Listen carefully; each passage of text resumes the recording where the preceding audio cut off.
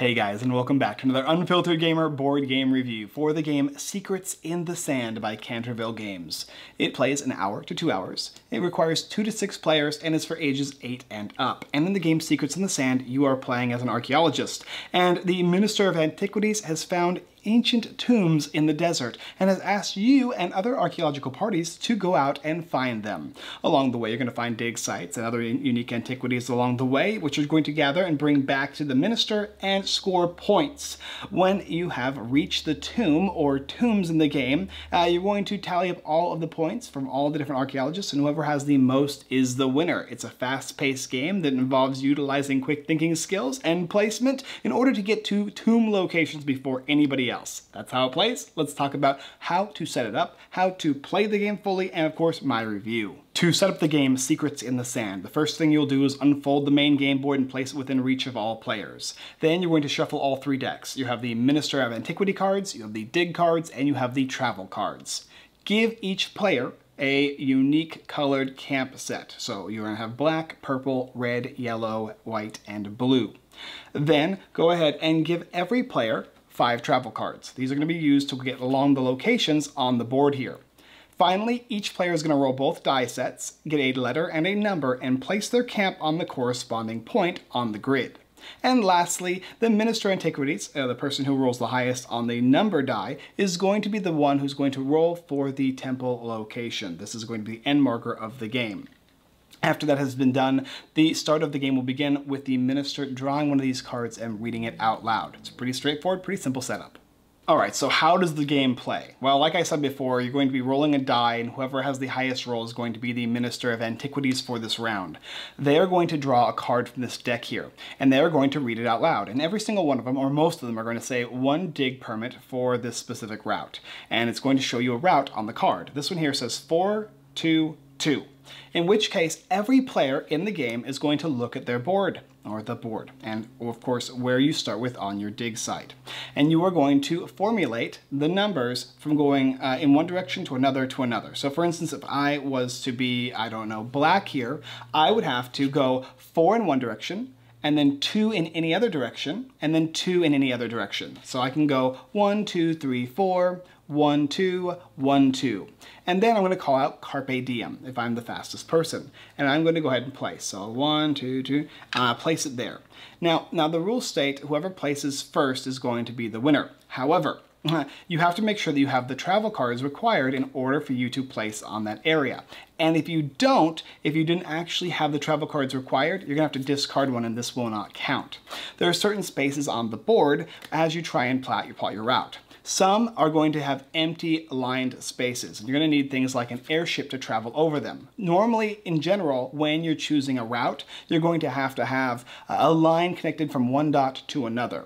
If no line exists, you will need something. If you have to travel through forest, you will need something. If you have to go over a rock or through a river, you'll need something. And that's where these travel cards come in. So for instance, if I were to go across this one here and there's an empty space, I would need an airship. And then again, another empty space, I would need another airship. If I don't have those, however, not going to count, and I'm going to lose travel cards for attempting to go through. Uh, the forest areas are going to require things like um, machetes, I believe. Yes, and then uh, the rocky areas are going to need things like dynamite. You're going to need to go through the rivers utilizing rafts, and then you're also going to have a rope that can be used to scale up and down cliffs. And that's basically what you're going to use using travel cards for, and these locations are pretty distinct and expressed on the board here.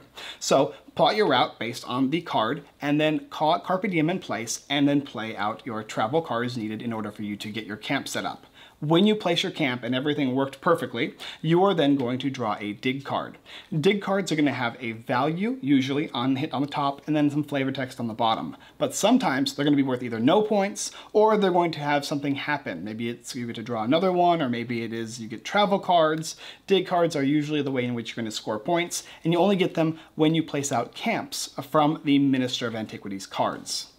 Once that happens, once the minister reads that out and the dig card has been drawn, then the next player in clockwise order is going to start. They're going to draw a Minister of Antiquities card. They're going to read 5, 2. Players are going to chart out their path, going 5 in one way, 2 in another way, and then they're going to call out Carpe Diem, placing another one of their camps. And it's always the first person to do so. So if you are the second player, uh, it's not going to count. If there's a tie, generally speaking, there's going to be a roll-off, and whoever wins that roll-off will place down their camp to find the coveted tomb location, which was placed on the start of the game. If you can reach that location, you're going to score 2,000 points and the game will be over.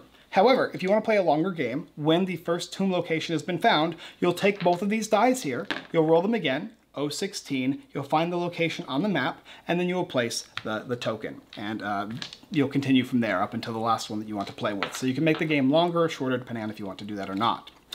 Additionally, if no one finds a spot on the grid, then the Minister of Antiquities is going to get a free travel card. So uh, there's ways in which the Minister is still going to work. But in general, the Minister, unless you're playing a two-player game, is just going to be reading these out, and they're going to try and make it as fair and balanced for everybody to make sure that they have an opportunity to get to the locations they need to get to. And that's pretty much the idea of the game. You're just simply going to have them draw the card, they're going to call out the numbers, players are going to look on the grid, choose a spot called Carpe Diem, if it is accurate, you'll discard your travel cards, draw a dig card, place your camp, and then the next player is going to get a chance to go until somebody reaches this tomb. And then you'll score up all your points, or count up all of your dig cards. Oh, I've got one worth nothing and one worth 50. Oh, and I got the temple, which is going to be 2,000 points. And if you have the most points, you're the winner. Pretty, pretty straightforward game. Okay, so let's talk about Secrets in the Sand. And we'll start with the quality. Uh, this is a high quality game. It's got a nice board. It's easy to read. It's easy to see where spaces require um, a specific travel card and where they don't. Pa passing through rocks or passing through rivers or forest areas, you're going to know when you go through. Um, as well as certain spaces that are blocked off will need airships. And every single travel card will have an instance of what is going to be uh, it's going to be used for. Oh, I've got a machete that's going to go through the forest area. Oh, I've got dynamite that's going to blow up rocks for me. And you'll be utilizing these in a quick, fa fast-paced motion because the game plays simultaneously with everybody who isn't the Minister of Antiquities. And so you want to be the first person to find the route, and you want to be the person who is getting closer and closer to the coveted tomb or temple.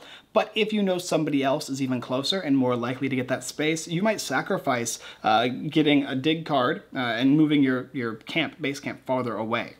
Um, but yeah, it, it, all works out. It's all very, very simple as to how it works. Even these die are very nice. Uh, they, this is a, what, an A through T die, and then this is a 1 through 20 die here. And for the most part, finding locations, you're just going to be rolling these die here. There are certain cards that are going to have you rolling these dies as well. They kind of change the game up in certain ways.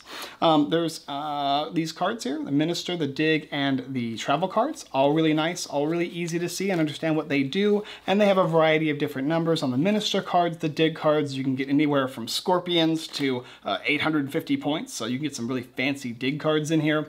And then the travel cards are all necessarily pretty straightforward as well. Artwork is solid in this game, really, really cool. It feels like you're going through the Sahara Desert looking for temples and treasures and whatnot, and it works really, really well. The campsites are nice as well. So quality and artwork are solid in this game. I think what you see here is what you're going to get, and I think what you get is, is a solid experience. Uh, gameplay.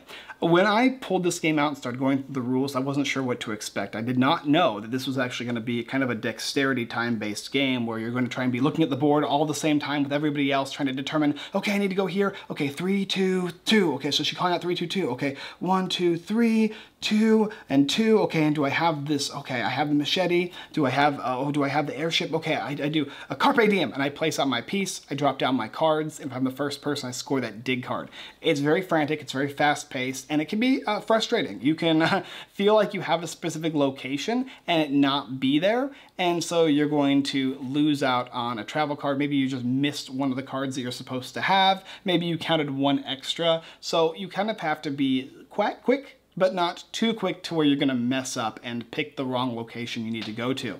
And in fact, the way I did it, a little bit of a house rule for me, is I made it so that when you call out Carpe Diem, you place your piece, your finger on the space, and whoever's the first person to place is gonna take one of those tents and drop it down, show us the numbers, show us the travel cards, and if you do, you get a dig card. If you don't, you just code a travel card. And um, there's two different ways you can do it that I liked. Uh, one way was the minister, if, if a person goofs, the minister gets to draw a travel card and you just move to the next round.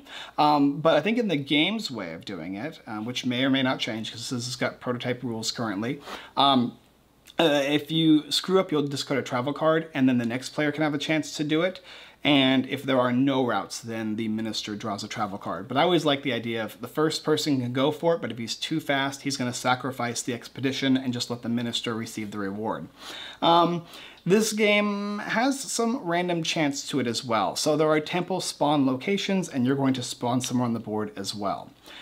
If you're very lucky, you can spawn right next to the temple or the tomb. And if you can get to that tomb area, you're done, you win. Um, and of course, maybe if I'm just right next to the tomb and the card is a 111 and I started there, bam, that can be it. Uh, so there are certain ways in which you might just be, or even even just something better is, uh, or something more realistic is, you've got these tombs, uh, this tomb here, and you got all these other build loc these, like camp locations, and red is like drastically closer, which is going to have there a, a large uh, likelihood or more likelihood of them being able to succeed by getting that location. What I think would be cool is after the placement for the camps from each player, there should be little circles on the game board. There are like little red circles. And of those circles, you should assign a, um, a tomb based on the farthest location from everyone. So that somebody might be closer to it, but at least it's the farthest location from everyone, so that nobody can end up super, super close to the tomb. And that's probably my only real nitpick with the game is spawning locations can vary. Some people are gonna have a better odds in order to get to locations, but because some players are probably going to just be better at this game, be faster, be knowledge, more knowledgeable on what route they want to take, when they want to do it, uh, you can think in your head, like kind of ahead, okay, if I get a 2-2-2, I'm going to do this. If I get a 5-2-1, I'm going to do this, and plan it out. And it actually does work better than I thought it would, it would because there are a bunch of different minister cards, but I was able to kind of okay, this can be up to five, this can be up to two or three, and this can be one or four. And so I can kind of gauge where the card's gonna be before it is even drawn. And I like that. In fact, even reading the minister cards out, I prefer people to just say the numbers. Four, one, seven, one, five, two. Not, not what they do, where they're like reading it and then they're like, okay, this is for one, seven, two. Because then it gives people time to go, okay, one, seven. So I want everybody to have the exact same amount of time in their head to be able to calculate. Um, yeah, it's a fast-paced game. It's something I wasn't expecting. Uh, this board here kind of made me think of a game like gerrymandering or like a tic-tac-toe sort of thing, but uh, like I was expecting like to be building little properties with area control. It does have that area control. It does have that randomness of where you're going to go and what travel cards you will need. Uh, there's another really cool thing about this game too, where if you don't want to participate in the round, you can simply just draw a travel card and you can sit out. Thusly, if you have a space that you're stuck in with no travel cards, you're going to need these guys in order to succeed, or in order to get through them. If I was here and I needed to go through a rock space, getting this dynamite is going to be very, very beneficial. So this game is going to definitely frustrate some people though. Some people are just not going to be too quick to the draw and uh, it might be too complicated as to not how to play because the game is very easy to understand. But if you have really fast players and then some really slow ones, those players are going to be left kind of in the dust. So it's going to appeal to a certain type of demographic when it comes to these fast-paced thinking, puzzly nature type people.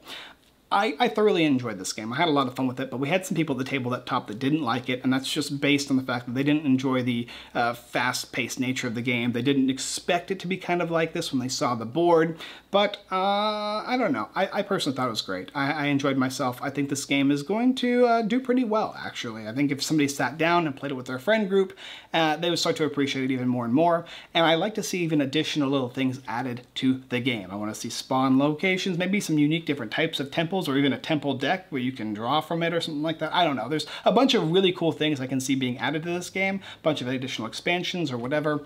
Personally for me though, Secrets in the Sand is a lot of fun, it's very enjoyable, and it's something unique and different that I haven't seen played before on a board game. Thank you guys for watching our Unfiltered Gamer board game review of the game Secrets in the Sand by Canterville Games. If you like this video, go ahead and like, comment, and subscribe. Go ahead and check out our website, unfilteredgamer.com, for blog posts, giveaways, Kickstarter lists, and more. And if you'd like, you can watch our live stream every Wednesday and Sunday at 6.30 p.m. PST on Twitch.